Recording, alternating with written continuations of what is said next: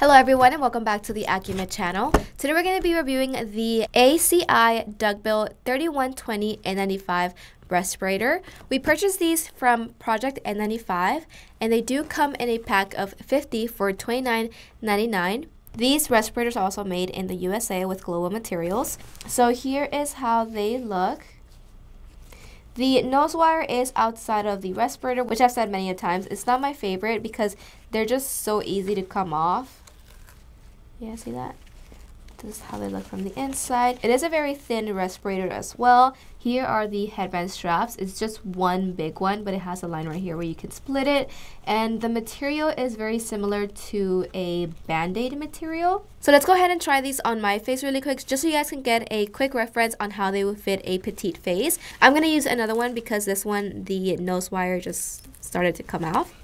The nose wire of this is going to come off really fast. I just tried pulling it a little bit to adjust it to my face and I can hear it getting unglued. So these did take a little longer to place them on my face than others. I am getting some leakage right here on the corner of the mask. Definitely not a fan of the nose wire situation going on here. But with that being said, this is how they would fit a petite face. So let's go ahead and run these through our TSI machine. We're going to be testing both the filtration efficiency and pressure drop.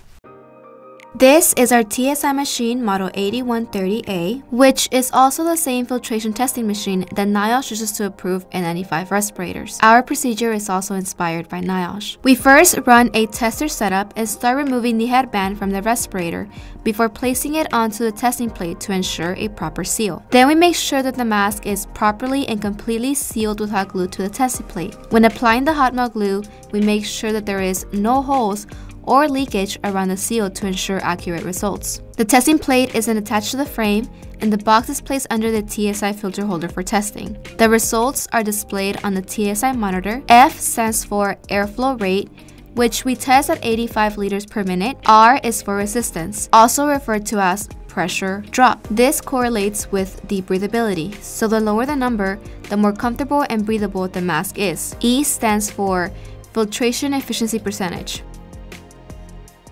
The first sample had a filtration percentage of 99.83% with a pressure drop of 11.6 millimeters of water.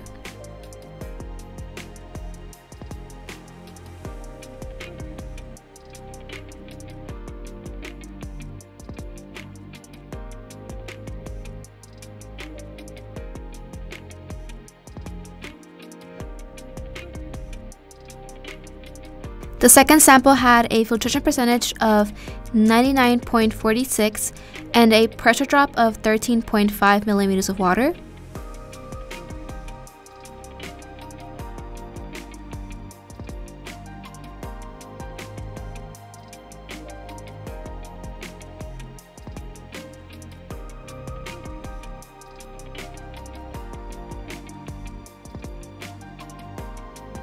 The last sample's filtration percentage was 98.64% and a pressure drop of 10.9 millimeters of water.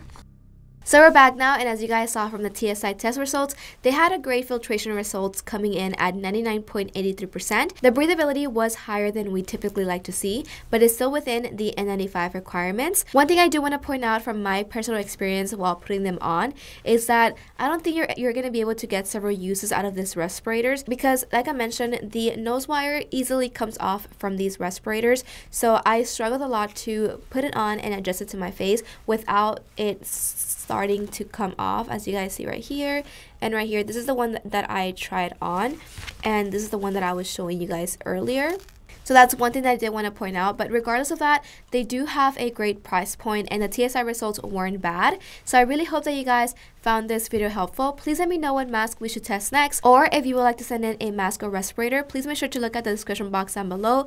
We're going to be having our address along with our website, which is accumed.com, and our master testing data sheet. Please don't forget to like, comment, and subscribe, and I'll see you guys in our next video you.